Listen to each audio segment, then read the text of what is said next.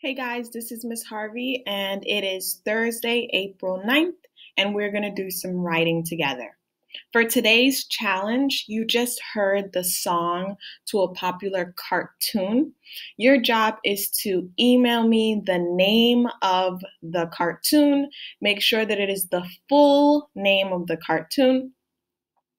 And whoever is the third person to email me the name of this cartoon will get one extra credit point towards any subject of their teacher's choosing.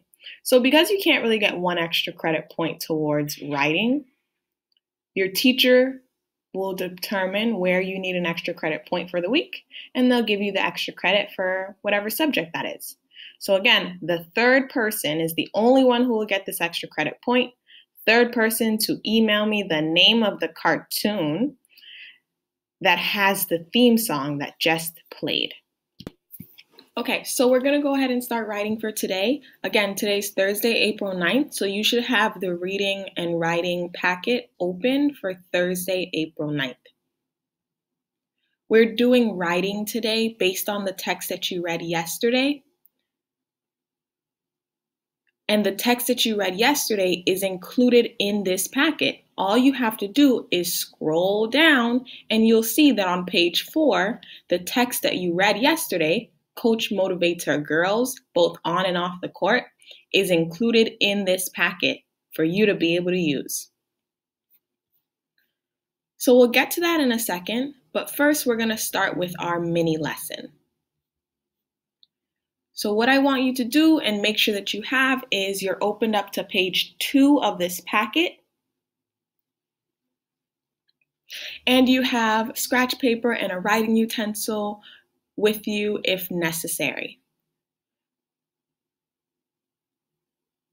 You're going to pause the video here and make sure that you have all of those things available to you. You have the packet open in a separate tab, writing utensil, material to write on, and you're ready to go. So, for today's writing mini lesson, we're going to be talking about using evidence that helps to prove your point.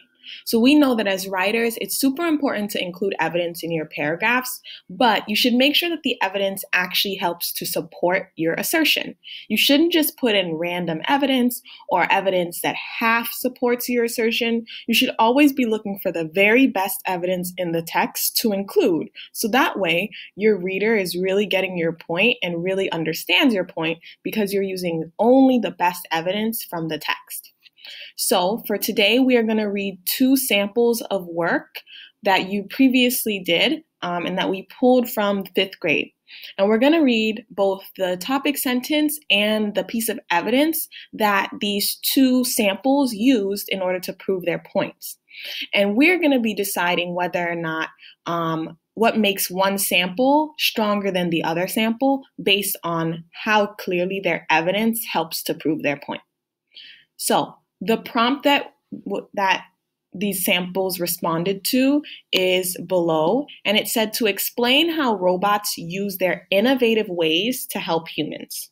So, the evidence that we're looking for is evidence that helps to prove whatever assertion the person made about how robots use their innovative ways to help humans.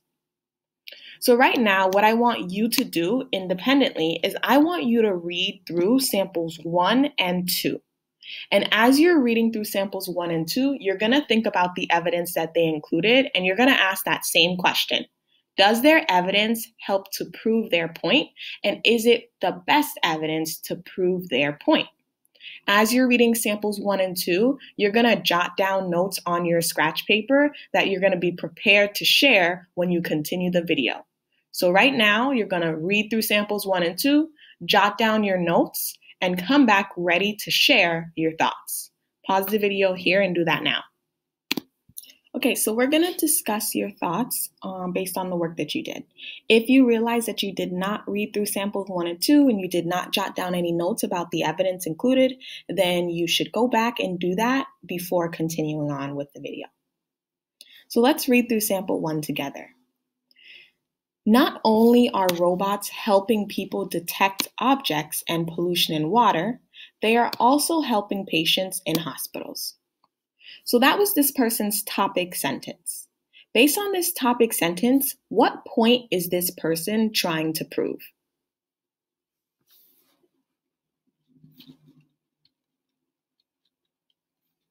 Exactly. They're trying to prove that robots help patients in hospitals. So we need to make sure that their evidence actually connects back to their point of helping patients in hospitals. And we need to make sure that it does that so that we know it's strong evidence because it proves their point. Let's read their evidence next.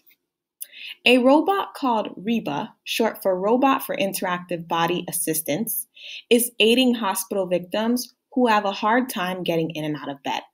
RIBA can gently lift the patient out of bed and help him or her into a wheelchair. What do you guys think about this first sample's evidence? Did this sample clearly prove the assertion of robots helping patients in hospitals?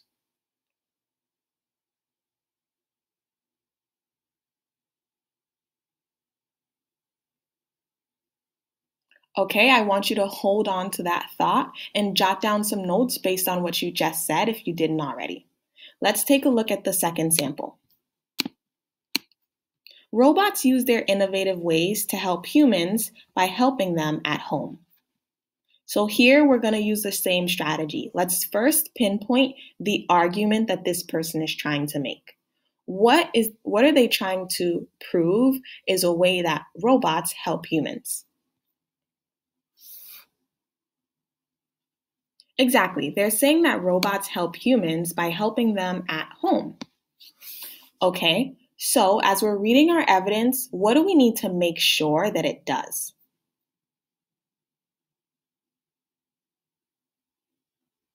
Exactly. We need to make sure that it actually helps to prove this point that robots help humans at home. So let's read the evidence. The author says Featured here are robots that have made new lately for the innovations they help people at home or at work. You might be living or working with one of them one day. What do you think about that piece of evidence in sample number two?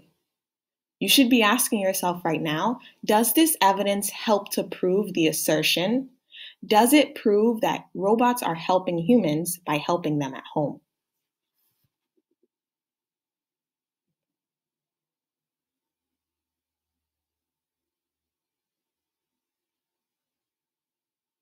Okay, so now I want you to think about what you just responded for sample one and sample two.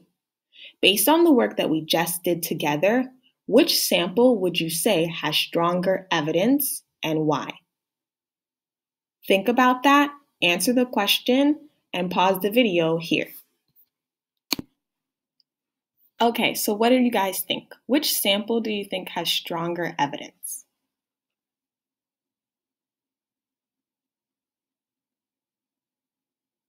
So if you said sample one has stronger evidence, I'm agreeing with you.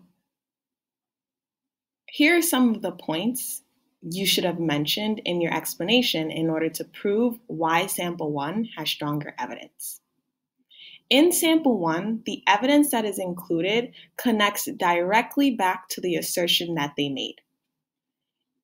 Their assertion was that robots help patients in hospitals. So this person went into the text and found a specific piece of evidence that proved how exactly robots help patients in hospitals. Their evidence talks about the robot RIBA and how it helps hospital victims who help a who have a hard time getting out of bed.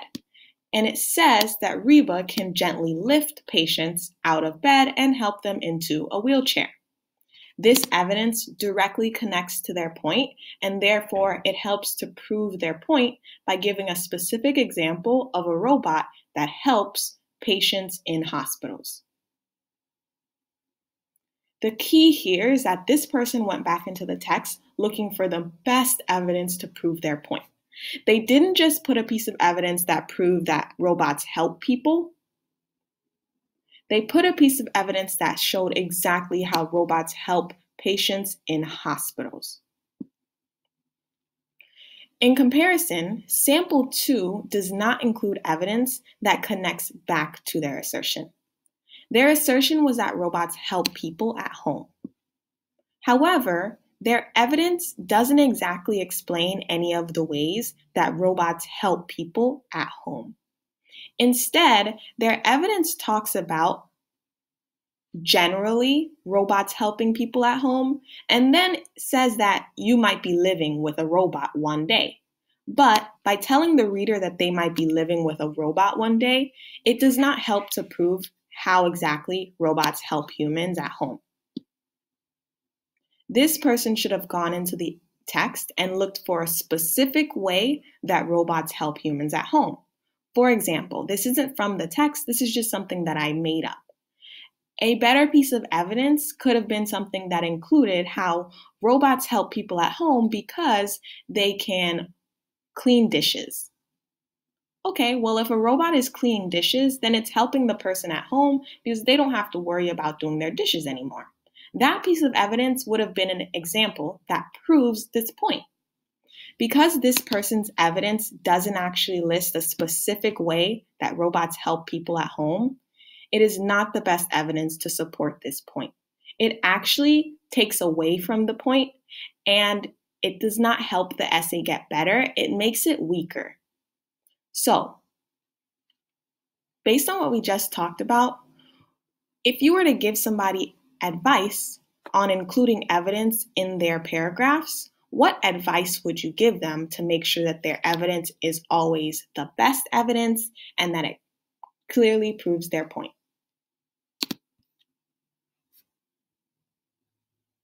That was a really clear piece of advice that you gave. So, the teaching point here is that whenever you are including evidence in your essays, you should make sure that your evidence directly connects to your assertion and that it helps to prove your point.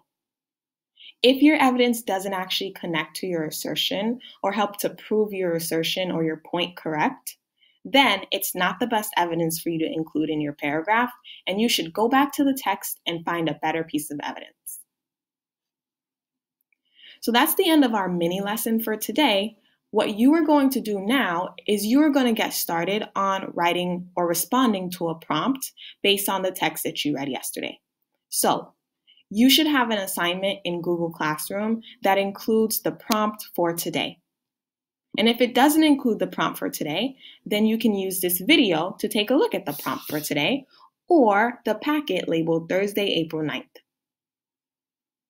Your prompt is asking you to write an essay based off of the passage that you read yesterday in reading class.